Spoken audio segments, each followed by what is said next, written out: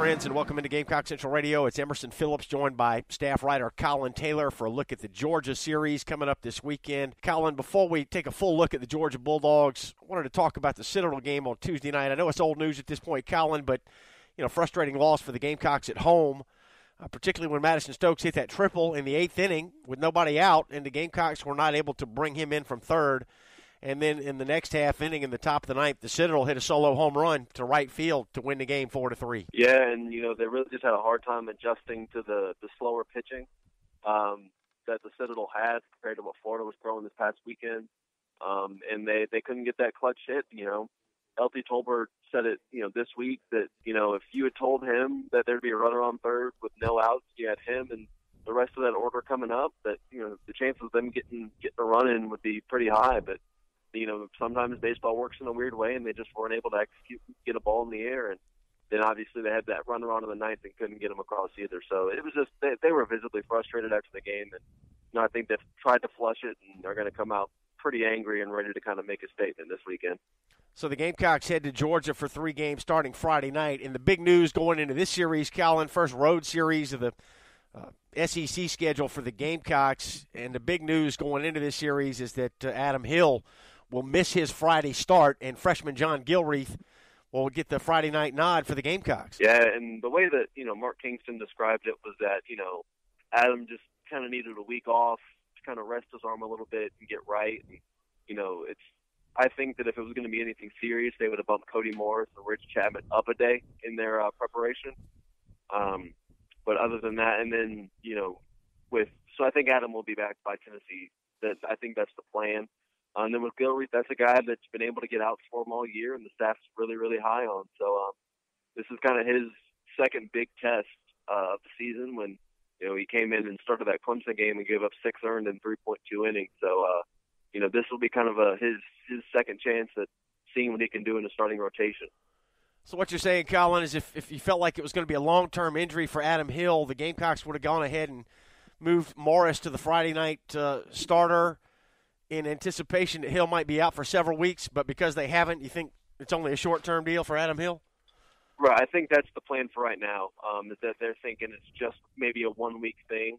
Um, Mark Kingston even didn't even say that he was really injured. He just said Adam was getting the week off. Um, so I think that they're hoping that he'll be back for that Tennessee series if his uh, you know, tendonitis kind of heals up and, you know, he recuper- recuperates the way I think they hope he recuperates. Gamecock Central Radio, Emerson Phillips with staff writer Collyn Taylor taking a look at the South Carolina Georgia series starting Friday night. That'll be in Athens, and we have a 7 o'clock first pitch in Athens for game one on Friday. And again, John Gilreath, the freshman left hander for the Gamecocks, gets the start 4.58 the ERA for Gilreath. Uh, Collyn, he made one start earlier this year against Clemson, gave up six runs in that game, but that's a Clemson team that's top 15 in the country. So, what do we expect from Gilreath getting his first Friday night start? You know, I think that he'll come out, you know, and pitch better. Uh, Georgia's offense isn't nearly what Clemson's offense is. Uh, they're good, but they're not as as good as what that team can do. Um, and I think that he he loves to pitch to contact. He has a really really good changeup and a curveball he can work in pretty effectively and uh, it's a matter of making sure that his fastball kind of stays in that 90 to 91 range uh, in terms of uh, velocity. And you know, if he could do that, which is something he didn't do against Clemson, I think that he'll be able to get out uh, pretty efficiently and pretty quickly for South Carolina uh, tonight. Georgia will counter with their senior right-hander Chase Atkins, who is 2-0 with a 3.12 ERA.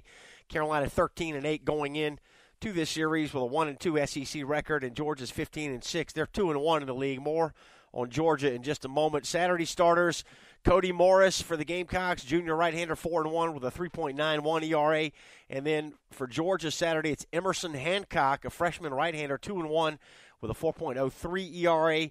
And Sunday starters: Ridge Chapman for the Gamecocks, junior righty, one and two with a 3.57 and Ryan Webb, freshman left-hander for Georgia, 0 and 1 with a 3.79 ERA. So, Collyn, Georgia's going to start two freshmen, one on Saturday, one on Sunday. Yeah, and you know, with, with Georgia, it's a lot of, you know, they have the experience, or they don't have the experience, but you know, some of these guys are talented. So it's just a matter of South Carolina, you know, with, with their veteran guys being able to um, kind of jump on them early and rattle maybe a freshman team, you know, some freshman pitchers because um, you know, you got guys like LT Tolbert, Jonah Bride, uh, Jacob Olson, who have been kind of through everything. So it'll be up to them to, you know, really rock a freshman um, who who's talented but just hasn't been in you know facing SEC pitching for a really long time. Collyn, we talked earlier this week here on GCR about Georgia. They played a five-game uh, road trip in Charleston. They went to the Low Country and got swept by the College of Charleston. They lost a game to Charleston Southern, and in the fifth game in the Low Country, they beat uh, the Citadel. But then they came back and took two out of three at Alabama to open SEC play. So, you know, rough start to the month for the Bulldogs, losing four out of five in Charleston, but they got off to a good start in SEC play, taking two out of three at Alabama. Yeah, and you know, Georgia's always a team that plays South Carolina tough, especially in Athens. Uh, so you know, their ballpark's a little funky. They got a shorter, shorter porch in um, right field, so a lot of home runs out that way. Uh, but they're always a team that South Carolina, for some reason, struggles with. Um, Georgia's usually got a few position players that can hit, uh, and I think this series will actually be a pretty fun one, just because Georgia's playing so well, and South Carolina is kind of shuffling their rotation, and hitters are kind of still getting their feet under them. So, um, I think this will be a really, really fun one, just because both both offenses are good, and um, the pitching you, you get some pretty good pitching matchups as well. 7 o'clock first pitch Friday night at Foley Field in Athens. 2 o'clock start Saturday, 1 o'clock on Sunday. All three games will be streamed on the SEC Network Plus. Matt Stewart and Jason Jacobs on the call.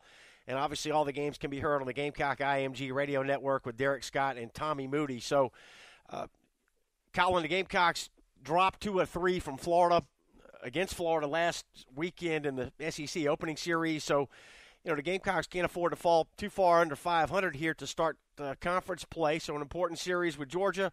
And if the Gamecocks could get it, you know, maybe they take two out of three, they get back to 500 in the league. That'd be a good weekend. Yeah, and I think that, you know, you look at the schedule coming up with, you know, you got two road trips uh, on the horizon with two top 10 teams in Kentucky and Arkansas.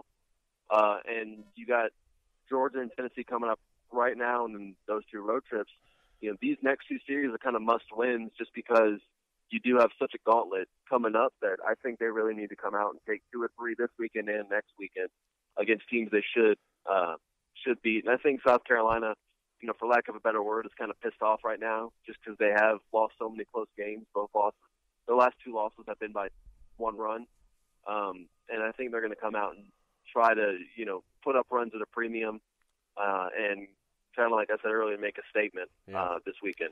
Yeah, you look at the season stats, and the Gamecocks have dominated their opponents this year, but it just is not showing up in the win loss uh, columns right now with a 13 and 8 record. They've lost some close games, and a lot of their wins have been lopsided. So, uh, interesting start to the year for South Carolina. Collyn Mark Kingston was talking to the media earlier this week, and he talked about going on the road for the first time. You know, he said they played that one game in Clemson, and they had the neutral site game in Greenville also with the Tigers, but they have not had a full weekend on the road. So this will be the first road trip in a uh, season. And he said that teams tend to grow closer uh, by taking road trips. They spend time on the bus, they eat all their meals together, and the team tends to grow closer on the road. Yeah, and that's that's a big thing, especially with you're breaking in so many new pitchers, and uh, you got some position guys that are new, uh, especially Noah Campbell and a few others. Uh, that this this gets them kind of in the right mindset. They get to see what it's like. Um, and, you know, winning on the road in the SEC is tough, but, you know, getting closer as a team kind of helps with that. Um, it lets you trust your pitching and your defense a little bit more, I think, on the field. Um, I think it does nothing but help, especially with you have a close knit team, uh, like everyone says the South Carolina team is. Collyn, do you feel like uh, with Gilreath starting on Friday night, you know, the Gamecocks go into that one with nothing to lose. They're kind of playing with house money here. If Gilreath can give them a solid start and the Gamecocks get a win, you know, maybe that's one they weren't counting on. Yeah, and you know, when you look at it, Cody Morris has been really, really good um, in recent starts, and Ridge Chapman, he, he had that one mental mistake against uh, Florida, but other than that, pitched a really, really good game yeah. in four innings, gave up three earned. Um, so I think that if you know the, thought process is, well, if they could do that against Florida, they should have similar results against Georgia. And I think that you know they're kind of banking on those two wins, hopefully from those two guys. And then if Gilreath can come out and do what he's done out of the bullpen this year, then that sets up pretty really pretty nicely for a sweep uh, this weekend. or at least Right. take a two out of three. Seven o'clock Friday, two o'clock Saturday, one o'clock Sunday at Foley Field in Athens for the Gamecocks and the Bulldogs. Next week, the Gamecocks have got a Tuesday night game with Davidson. That's at home, and then three at home with the Tennessee Volunteers. So we'll come back next week here on Gamecock Central Radio, talk more Gamecock baseball. Collyn Taylor, thanks very much. Thank you for having me on. That's Collyn Taylor, our staff writer. You can read his reports on all the games this weekend in Athens on Gamecock Central. And I'm your host, Emerson Phillips. Thanks for being with us.